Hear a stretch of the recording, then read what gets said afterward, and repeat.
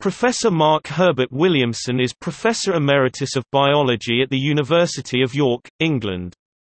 He is an expert on biological invasions. Williamson attended Christ Church, University of Oxford, where he gained a BA degree in 1950 and received a D.Phil. in 1958, having been a departmental demonstrator in the Department of Zoology, University of Oxford since 1952. Between 1958 and 1962, Williamson was a senior, principal scientific officer (SSO) Paseo at the Oceanographic Laboratory of the Scottish Scottish Marine Biological Association.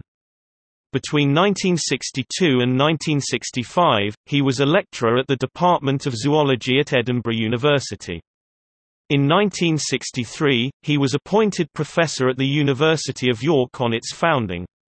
He was head of department in the Department of Biology at York from 1963 until 1984. In 1993, Mark Williamson was appointed professor emeritus. In 1994, he received an OBE. Topic books Williamson, Mark 1972. The Analysis of Biological Populations. Edward Arnold, London. ISBN 07131-2347-8 Williamson, Mark 1981. Island Populations. Oxford University Press, Oxford.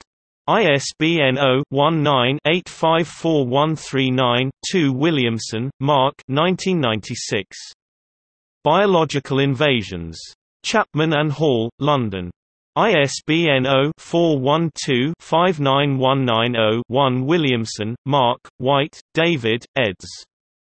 2013. A History of the First 50 Years of Biology at York. Department of Biology, University of York. PDF